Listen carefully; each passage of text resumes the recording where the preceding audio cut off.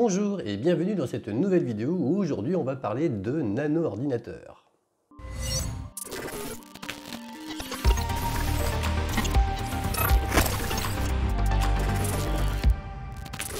Voilà, installe-toi confortablement et aujourd'hui on parle de nano-ordinateur. Alors qu'est-ce que c'est qu'un nano-ordinateur? Eh bien un nano-ordinateur, c'est un ordinateur pas plus grand qu'une carte de crédit. Il existe plusieurs styles de nano-ordinateurs, mais aujourd'hui on va parler plus spécifiquement du Raspberry Pi 4B. Et ce modèle existe en trois versions. Une version avec 2 Go de RAM, une avec 4 Go de RAM et enfin une avec 8 Go de RAM.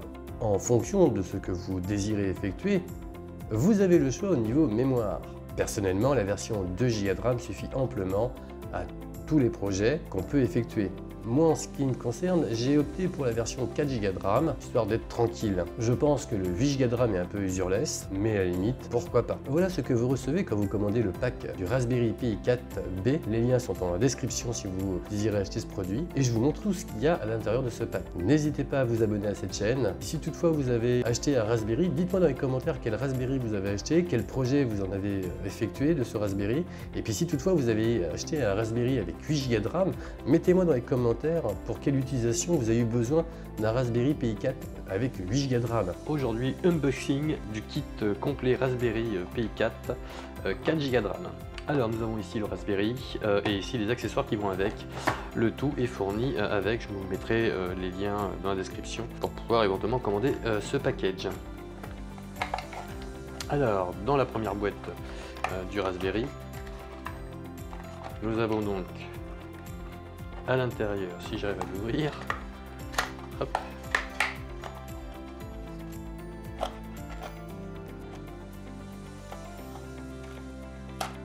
Voilà, c'est que c'est légèrement collé. Nous avons donc à l'intérieur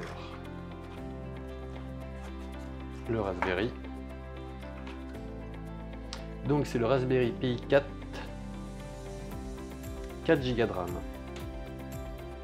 deux ports USB 2.0, deux ports USB 3.0, un port gigabit euh, qui fait vraiment du vrai gigabit parce que la version euh, PI 3B+, euh, malheureusement n'allait pas jusqu'au giga. Celui-ci il va jusqu'au giga, ce qui est plutôt une bonne chose. donc voilà, nous avons ici les deux ports de sortie HDMI 4K, l'alimentation, une sortie euh, écouteur et puis euh, le, toujours le port euh, SD derrière. Nous avons donc à l'intérieur un petit manuel. Hop, qui va bien avec. Et à l'intérieur de ce package, nous avons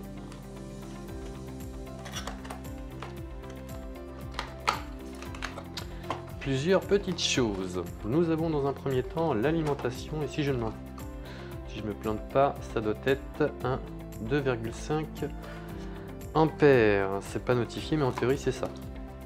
Donc une connectique, euh, donc alimentation avec une connectique USB-C. Nous avons donc un câble HDMI, euh, HDMI classique plus micro HDMI qui va sur le Raspberry nous avons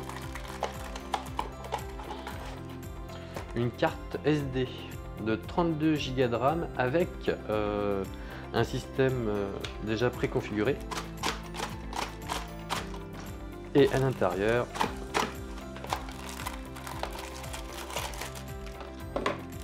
nous avons le boîtier. Alors c'est un boîtier différent euh, de ce qu'on peut voir il m'a l'air relativement assez, assez correct.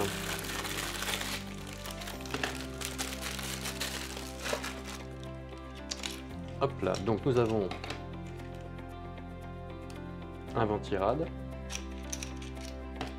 la possibilité de brancher la carte SIM sur port USB, un tournevis,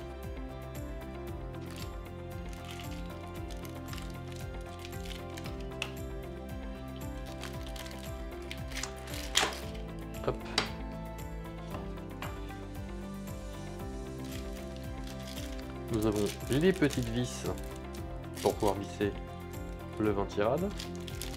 Et nous avons bien entendu des dissipateurs à, à mettre, à coller directement euh, sur, le, sur le Raspberry.